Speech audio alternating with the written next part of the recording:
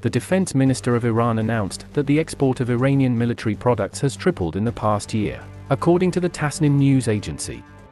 Brigadier General Mohammad Reza Ashtiani stated during a gathering of defense ministry officials on June 10 that the export of products developed by his ministry has significantly increased in the previous Iranian year, which concluded on March 20. Brigadier General Mohammad Reza Ashtiani said the export of products developed by his ministry tripled in the previous Iranian year, which ended on March 20.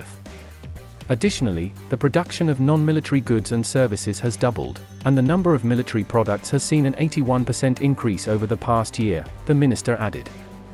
He emphasized that the Defense Ministry has established specific objectives to enhance the production of military and civilian equipment and services.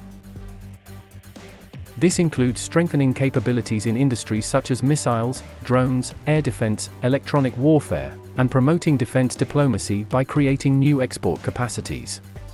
In late May 2023, Major General Mohammad Hossein Bagheri, the Chief of Staff of the Iranian Armed Forces, expressed Iran's willingness to export defense equipment and share military and defense expertise with friendly nations.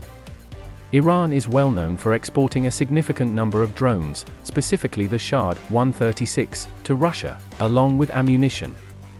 He stated, by showcasing the Islamic Republic's defense and military capabilities and sharing them with friendly countries, we can expand defense relations and enhance deterrence. Major General Bagheri further emphasized that the Iranian armed forces are fully prepared to elevate ties in various domains, including the wholesale export of defense and military equipment, training, exercises, and practical knowledge transfer.